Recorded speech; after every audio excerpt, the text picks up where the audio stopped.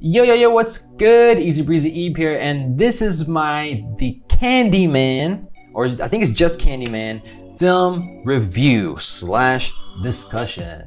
If you haven't seen my reaction video, oh, oh my god! Pretty fucking scary movie, man. I'm gonna admit. Uh, if you haven't seen that yet, go ahead and click on it here. Uh, give it a like. You know, pretty cool. So yeah, as I said, this is my review slash discussion. I'm gonna put timestamps at the bottom, so maybe if you don't want to watch the full thing, you can just focus on the parts that I am discussing. I'm discussing um, just the, my what I thought overall, the horror aspects, the actors, the director, see what else they've done, um, and also I'm gonna try to talk about some of the themes and some of the racially motivated themes um, because I thought it was pretty obvious some of the things they're trying to comment on. And, you know, that's really watching this movie, I'm thinking, man, I, I wanted, when I do the discussion, I want to sort of bring that up. And I hope that some of you guys that know more about it can uh, tell me more about the things that I missed and I didn't pick up on. Like I like watching movies. I try to do my best to understand it on more than just the story level.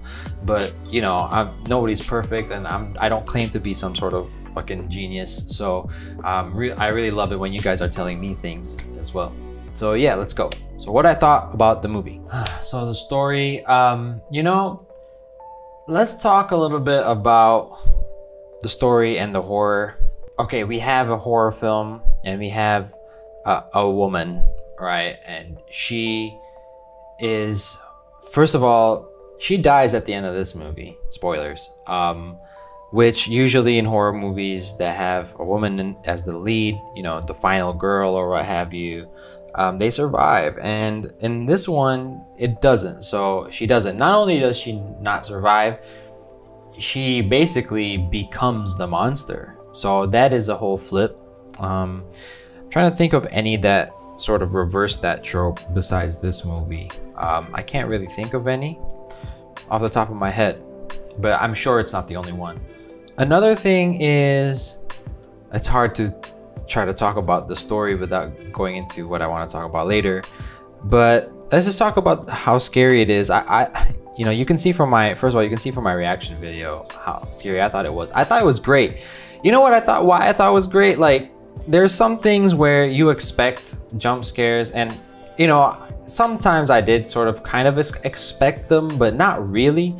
I, I thought that the scare, like for example, I thought at one point she was gonna close the the the medicine cabinet and it's gonna be behind her in the mirror. Uh, but it tur- but the fucking guy, the Candyman, just puts his whole arm through the goddamn wall, and that shit was crazy. Uh, you know, and just the moments that because I'm you're sort of engrossed in the movie the story wise i was really into it man. For i don't know is it just tonight like i'm really into what i'm watching or is just the movie's pretty good you know? I wasn't expecting much out of this movie i'm gonna be honest with you. I wasn't expecting much and i think that plays a factor as well. And i was really engrossed in the movie so when the scares did happen uh, even though they were like they they did come with loud noises um, I, I thought they were well placed. So, it, you know, that in itself is an art. I'm not going to be one of those people that's going to hate on jump scares too much. I mean, the, they can be overdone, but I thought in this movie it was kind of, it was, it was done well. Um, I thought that the Candyman himself, I mean, his origin story, um, we'll talk about that later, but his origin story was interesting. And then he, his, uh, he did mention something about and I in the in the in the reaction I mentioned that's similar to uh, American Gods, which I've seen only the first season of, but in that story, like the gods are they're all, they're only as powerful as it seems to be how much people remember them by and in a modern world people don't really believe in things like that as much so they're not as strong as they used to be. Um, it seems like in this movie, it's something similar. I don't think it has anything to do with his power, uh, but he does say he relishes in the fact that he is like he exists in those rumors in whispers uh, like he likes the fact that people talk about him um, so like people know his lore and his whole his whole reason for trying to get i forgot the main character's name the whole reason for him trying to get her for for the, the most of the movie it seems like because he hated that she took that away that there's this sort of other guy posing as the Candyman and he was arrested for those murders. So like he's like, "Oh, I'm to get at you for, you know, making people believe in me less because they found a guy to pin my murders on." Um and and the only way you can repay that is if you know you help me reclaim back my status of fame like that that's sort of sort of what i thought the motivation of on the surface of what the Candyman wanted. The other thing as well is seemed like Helen um, was like looks like the the girl that he fell in love with and impregnated um, the white girl. When there's paintings of her actually. It could be that they're visions of the future by Candyman, so he painted her. But it seemed like one of the paintings of her was in one of the murals where it's sort of telling the Candyman story. So it seemed like he wanted her, Helen, who was like this reincarnation of the girl he fell in love with. Um, then, they wanted he wanted to die together with her. So there was something there about that uh, as another motivation of why he was sort of making her do this stuff. Um, another thing is like I liked about the story overall was that even though the Candyman he wasn't like being hinted at not being real, it was just the things he was doing like he they were putting the knife in Helen's hand. Um, he was unloosening her straps when he killed the doctor, the the the psychiatrist or psychologist or the doctor, um, and things like that, making it so it's plausible that um, that she was killing these people all along instead of the Candyman. So I like I really was teeter tottering between that. Like, oh, is there gonna be another twist? Like, is she the killer all along? And I almost thought it was her. Um, at the end, when on the writing it says Helen, it was you all along. So I was like, oh shit, was she, her all along? Was she killing these people all along? But no, I think I was wrong there when I was reacting to it. I think like um, he was implying that she was the girl that he fell in love with, and the reason he's doing this to her, part of it is because like she's like the chosen one, like this was her destiny all along, something like that. And and like there's even the painting of her framed, right, with the hook going through it, um, the hook mark going through it, not the actual hook with her hair on fire, like what happened to her at the end when she was saving the baby. And that's where I was like, wait, because her hair caught on fire while she was saving the baby. So did the Candyman know that she was um, about to burn, you know? Or is that a supernatural thing that is happened because she became a ghost. I don't know. There's so there are things that are unanswered, like, and we don't need to know those answers to those questions. It's but it's like the the resonance there of having those things that are unanswered, that are creepy. It plays into the whole sort of scariness and the vibe and the mythology of this Candyman. So I thought all of those things together, put together, was great. Um, so let's get let's go through the characters one by one and kind of talk about them a little bit. So since we're already talking about Helen, Helen Lyle, and I'm looking here at the Wikipedia, played by Virginia Madsen. Let's see what she, else she's been in. But I don't recognize any of the actors. The only person I recognize is the guy who played the Candyman. And it seems like I might have known him because he's the Candyman. Like I've seen clips of this movie, like the bee thing, I like when I was watching it, I like got huge deja vu. Like I've seen this before. I think that's where I might have known him from. But Virginia Madsen, let's see, she's in Candyman, she's in Sideways. I haven't seen Sideways. I know it's a good movie. Paul Giamatti's in it. Uh, the Hot Spot, The Haunting in Connecticut. Oh, I haven't seen that actually. Okay. The original Dune, number 23, I've seen. I don't remember her. Um, once more. I haven't seen Highlander 2. I, I, mean, I haven't seen that movie like since I was a child. I don't know. Um, the Rainmaker, the Matt Damon movie. I don't remember her in it. I don't know. Maybe she's not a big character in it. So, Um, yeah, I mean, she's been in things, you know. Gotham with Tommy Lee Jones. She's the main character. That's before Candyman. So she's more late 80s, early 90s movies. So I'm not really, you know, not my era of movies. Like even the old movies I watch, they're not usually from this time period. I'm not really sure why, you know? Maybe it's just because I was born around that time. So it's like something that I, I don't know. I don't know why I don't watch movies from that era, but it, it, it's really cool. But her character arc, you know, is, well, I'll kind of talk about that with her as well in the theme portion, her and the Candyman himself. Apparently, Virginia Madsen is also in the Swamp Thing TV series and um, the, uh, the Elementary TV series, which I, I, haven't, I didn't see any of those. So, but I mean, those are pretty big shows when they came out. Um, uh, so let's talk about the Candyman. Um, who played the Candyman? Tony Todd. Tony Todd, and he plays Robitaille, Robitaille, Robitaille. I think that's his real name. And then the Candyman, of course. I don't remember them mentioning the Candyman's name, his real name, uh, in the movie. He's in Candyman. He's in Candyman 2, I think. He's in Candyman 3. Final Destination 5. Yo.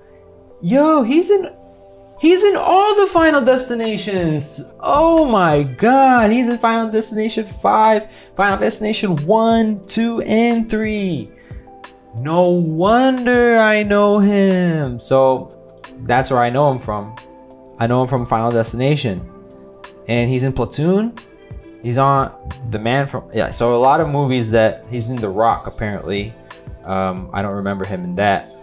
But mostly horror stuff. So like his his the actor Tony Todd, he's in Final Destination. Um, I think he's the guy like who tells them like, "Yo, this is like." He's the one who sort of gives the exposition on what's going on to them. I think, and and people like so he that's him. Hatchet and Hatchet Two, I know. So he's in he's in other scary things, um, which I haven't seen a lot of these sort of horror movies from the early 2000s. So um, yeah, you know, so Tony Todd. Ted Raimi is in it. He's an extra in the beginning. Sam Raimi's brother. Um, oops. Uh, okay, so Trevor, the person who played Trevor, is uh, Xander Berkeley. Um, he seems familiar actually. I think I've seen him in something recently, or maybe not. But okay, I was what? Yeah, Terminator 2, Air Force One. He's like a character actor. He's he. I think he's in like The Walking Dead. He's in the Walking Dead TV series. He's fucking Gregory. I knew he was a fucking sleazeball, man. The first time I saw him, I was like, this guy's a fucking sleazeball, dude. It's because he's a fucking sleazeball in The Walking Dead as well. Oh my god. So okay, let's talk about Gregory and Stancy. I, I don't I don't know who plays Stacy. It's just some girl. Uh, but sorry, actress who plays Stacy. But um, uh, look, right when he said in the beginning, "What you think something's going on?" Like he he's fucking Stacy, like or he's about to. So eh, like you know that was sort of the least surprising part of the whole movie was that eventually he was going to get caught um, having an affair with his student and presumably this is a big lecture hall so this is these are undergrads we're talking about and this guy's a fucking old ass dude with a bald ass head so um, you know look i know there are age gaps and love ain't I mean agent and number sort of thing, but come on, you're a student though. Like it's more of the power dynamic. Like not you're your fucking student. Uh, anyway, um, and I, I I know that's actually a pretty common thing, but it's not usually like I don't think it's usually professors and students, but but uh, that get together. But you know what? Like it actually it is a pretty common thing, but uh, so you know not you know it does happen. So you know whatever. It doesn't make him any less of a sleazeball um, for that. Uh, not because of it, because he's fucking married, dude. Like, come on, man. Oh yeah, Bernadette. Bernadette, the best friend, um, who played Bernadette. Kasi Lemmons. Don't know who she is, but yes, feels bad for Bernadette. You know, she died about halfway through. Um, she was killed by the you know she was just an innocent bystander man this fucking helen was just doing too much and she got caught in the crossfire all right so let's move on this movie was directed by Bernard Rose. Uh, I don't know if he wrote the movie as well. I should find out. Uh, yeah, yeah, he, he wrote the movie based on a short story called The Forbidden by Clive Baker. Clive Bark Clive Barker. Sorry, Clive Barker. I don't know what else he's written. Um, doesn't seem like there's anything I recognize here. But uh, so he's a writer director, and it seems like um, Candyman, Immortal Beloved. I don't know what that is. Devil's Violinist. I don't know what that is. Paper House, Samurai Marathon. Anna Karenina, the 1977 ver- 1997 version. So, and this guy, there's like three movies with this actor, Danny Huston, in it. So, a lot of like not really big blockbuster movies and quite a few horror stuff. So I think it's safe to say Candyman was his biggest movie. Um, but kudos, you know, it, it, he did. He, he he knew the assignment, got the job done, you know, and uh, you know what it is like. It doesn't matter because you have Candyman, so that's like an achievement already. You know, like people are always gonna know you for directing Candyman. People are gonna keep watching Candyman. Um, and it's, it's a cult classic you know so and now they're remaking candyman and more people are going to watch the original candyman and we'll talk about you know our expectations for the remake later let's get to the themes man. Let's get to the themes. Let's go. This this is i've been talking for too long on bullshit. So i said i would talk about the themes in this movie. There's really only one theme worth talking about because everything else is sort of like kind of genre driven like the cheating husband and um, the the kids in the beginning getting killed for you know the babysitter you know got the baby killed. Fucking dumb babysitter but Sam Raimi's brother apparently survived somehow um, but yeah uh, let's talk about the racial motivated stuff. So the things that I noticed right away was the urban legend. The first thing is like all right the urban legend is urban like literally. So it, it's like southside chicago. The people who knew about it the murder was oh, i forgot the, the lady that she saw in a newspaper it happened in this project and her apartment is like the sister building of the project so they turned it in but for, because of some because of where it was, it couldn't become a project, so they converted it into like luxury apartments. But um, the thing about it is, she had to ask the two custodians or uh, ladies who were cleaning the school she was working in. Weird that she was working in a high school. I thought it looked like a high school because of all the lockers, um, but maybe she's supposed to be at the university. I don't know. Um, and they were from the projects, right? They were older African American women and seems like they're just working, you know, these the custodian jobs for, you know, to earn a living and seem like good people. So she went there with her friend Bernadette and they were scared. And the way they talked about the projects was I get it. It's it could be scary. It's scary. Like you don't really want to go there. Maybe you know I I've never been to Southside Chicago projects, so I don't know how it is, especially how it was in the early '90s. Um, but uh, I get that it could be scary, but it's also the way they depicted it. It seemed like, okay, there's these two affluent women, you know, educated women going to the projects and they're afraid of it. They brought like protection. Like I think Bernadette brought like pepper spray or I don't know what she brought. She brought like pepper spray and a knife, like some shit like that. And they were being accosted. They were being, you know, catcalled by the guys down there and even the the mom lady the single mom was like we're not all like the guys down there like fuck like you know I, I don't i'm not sure how they were trying to portray those guys they all were sort of wearing the same color so like like purplish bluish so were they like supposed to be gang members or part of the same clique or they just lived there and they were just all homies? Like i couldn't really tell. They weren't really it didn't really matter but they were accosting them. And she was like taking pictures of the projects like people don't live in the projects like like why are you taking pictures of the stairwell? Like you know so it, it was like this sort of foreign land that she's investigating like like and they're supposed to be afraid of this place like it made that sort of like the forbidden forest of the movie was like the projects. And then they went deeper into the projects and they found an apartment that was really a supernatural apartment because that's where the candyman was living that's where the baby was stuck. So like this whole dichotomy of you know the main character is white but her friend is black but her friend is like didn't not poor you know she's educated so she's from that world.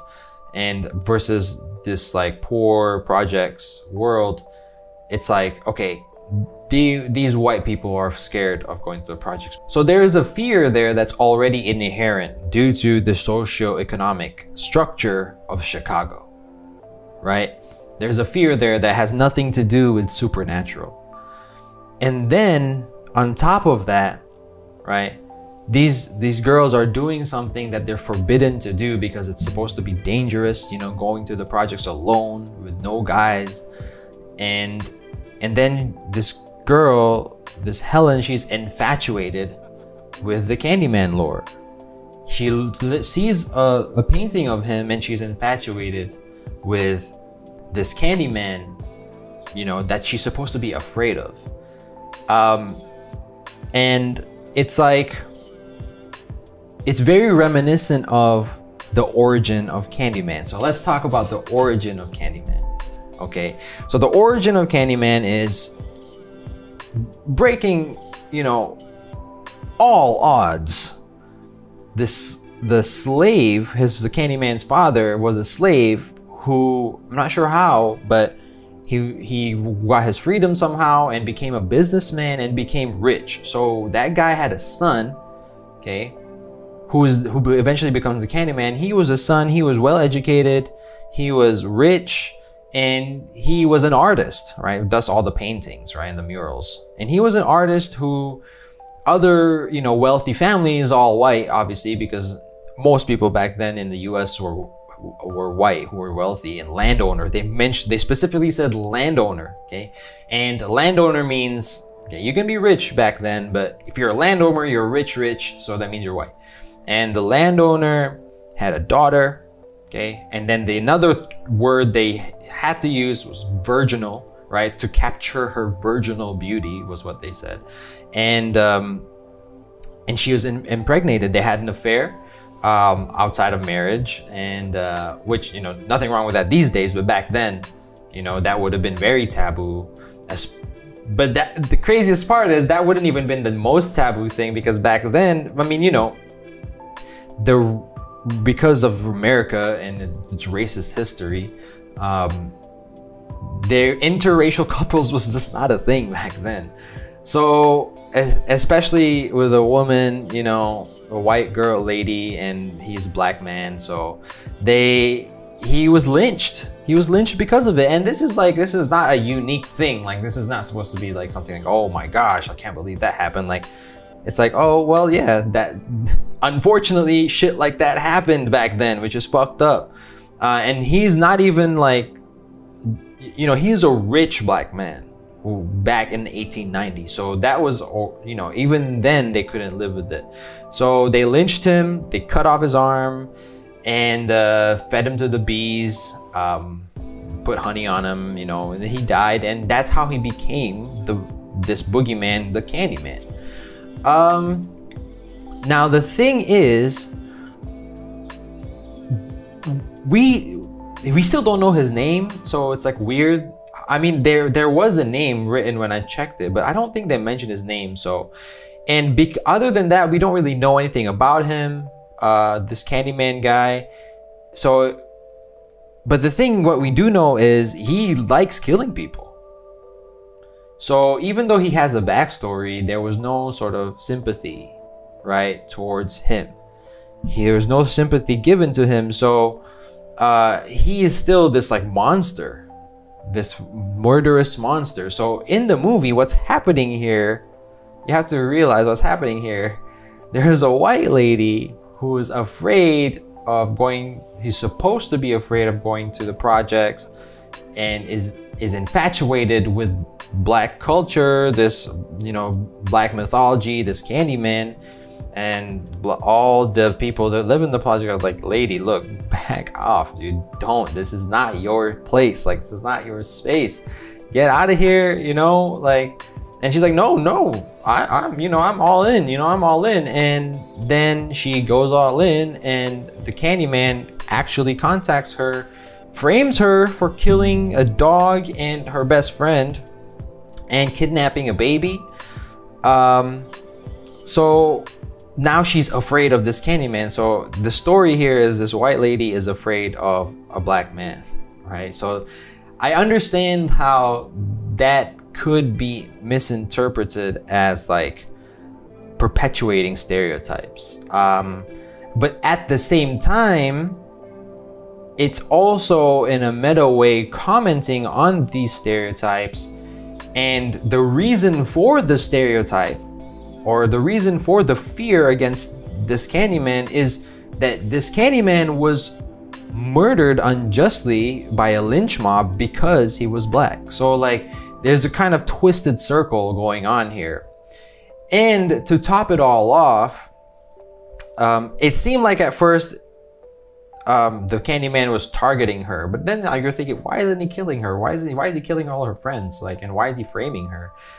And at first it's like, yeah, he's just trying to get fame and regain his popularity back or whatever. But then you realize like he's like, you're the one, you're the one, and he wants her to die with him because like he was in love like it reminded helen reminded him of his like first his love um, so it was like a weird thing that's going on there. And that somehow her saving a baby and dying for it also made her a boogeyman like a murderous ghost. Like so now she was also wronged in a way right? She was wronged by the candyman.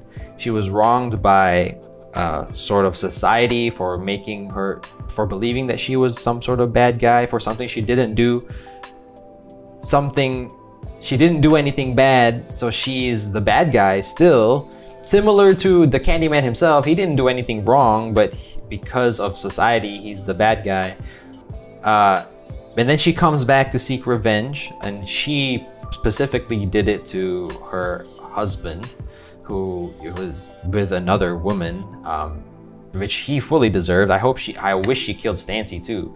But um, yeah, so I, I don't know. I, I'm kind of just, maybe I'm just talking in circles, but that's sort of the parts I noticed.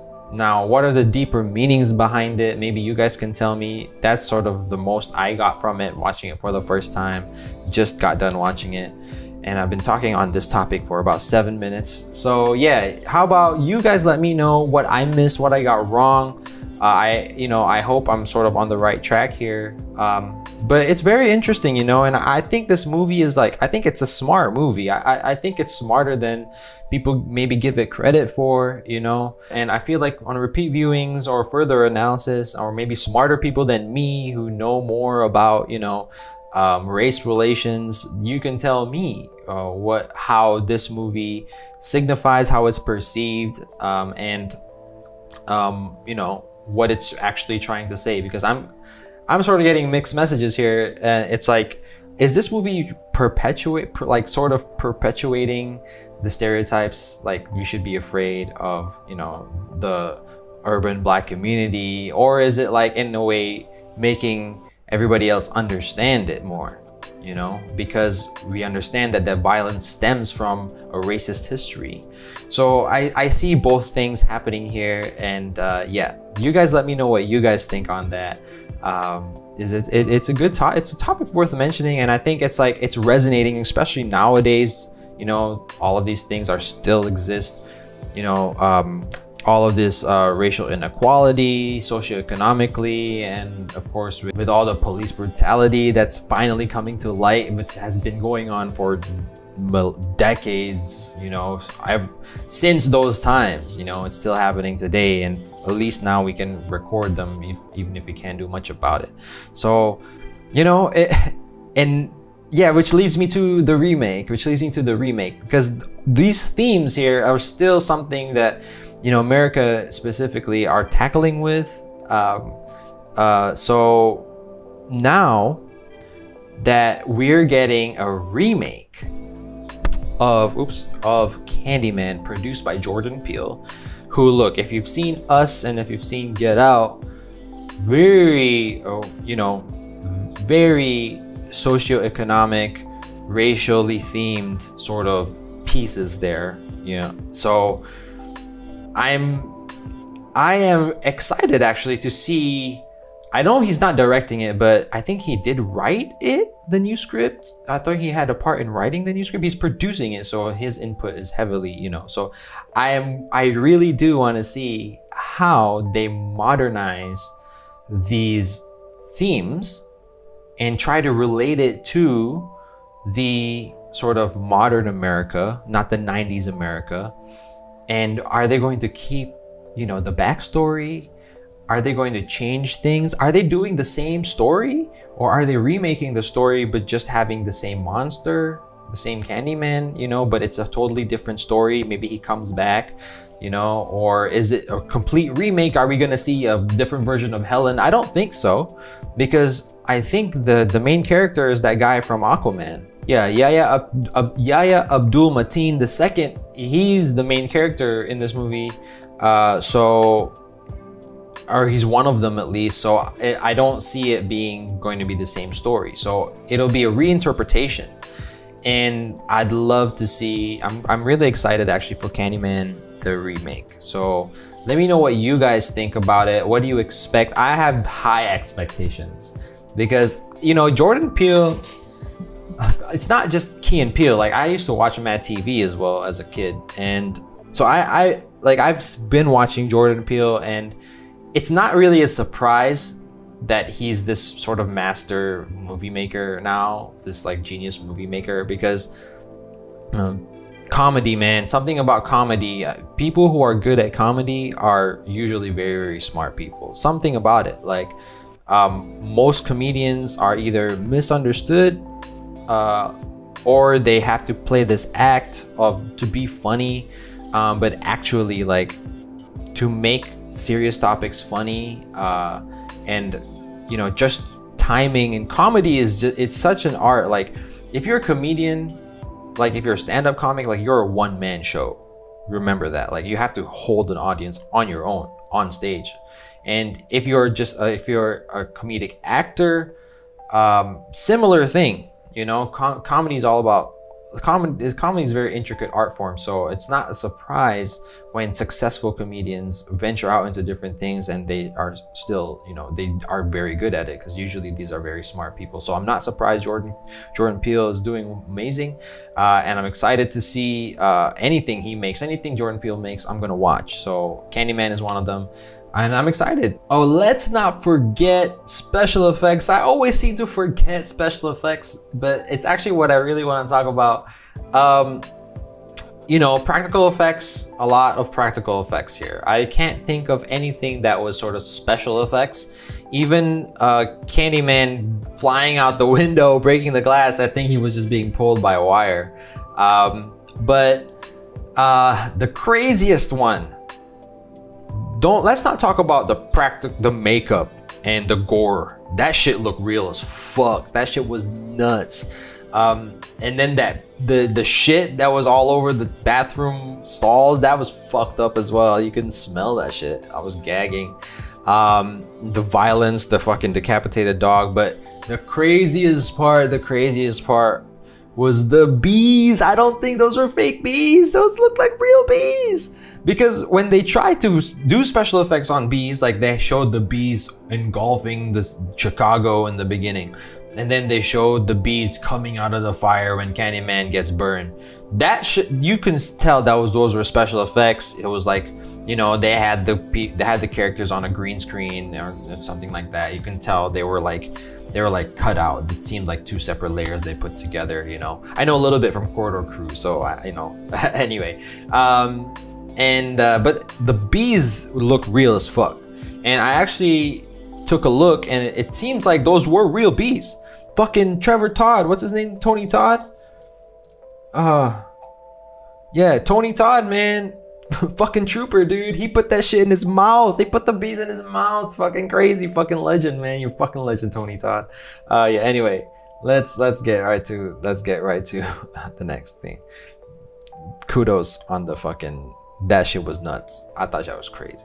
Yeah, so I might I'm sure I missed a lot of things because like I, I just just watched the movie. Um I'm interested now. You know, I'm interested in this movie. I'm, I'm actually gonna go ahead and maybe do some reading and watch some videos on it. Like, uh, I, I want to. I, I really do am curious to see what like uh, all the things I missed about what I just watched. So, because I think this is, you know, guys, I thought this was a good movie. Uh, let me know what you guys think. Um, I hope that you guys like my discussion review. Uh, I don't really have anything much else to say about it this movie, the main thing was I wanted to bring up was the topic of um, how race plays a factor in this movie. Because I think, yes, it's a horror movie and it's good. It's good. I thought the twists were crazy, like her escaping the mental hospital, you know, uh, the fucking her getting possessed, waking up to a decapitated dog, like all that shit was crazy nuts. But I think the important part about this movie and what makes it ring true to reality is the commentary it has between this affluent you know academic pretending they even had that character like i do declare like speaking in an english language like oh you haven't you haven't read my publication? And then telling the story about the history of candyman that guy. And then you have the other side of the spectrum. You have a single mom who's trying to feed her child like the only thing she cares about is trying to keep safe keep her child safe and work this, you know, this job seems like as, you know, something minimum wage, like back then, trying to survive in the projects. Like we're seeing two different worlds here and we're sort of seeing a history of racism that is, you know, implied here that leads to the separation of these, you know, these two different worlds, socioeconomic imbalance that we're seeing in two different communities. So, you know, it, it was great. Uh, yeah, uh, let me know what you guys think. Uh, I'll leave it there. Thanks for watching. If you made it this far, I hope, you know, if I said something weird or wrong, correct me down there. If I'm missing anything from the movie, correct me down there. Uh, I'd love to hear from you guys. And uh, thanks for watching. And I think I'm going to do Apocalypse Now for the next movie. So uh, stay tuned for that. Go ahead, like and subscribe. And remember, until the next video, easy does it.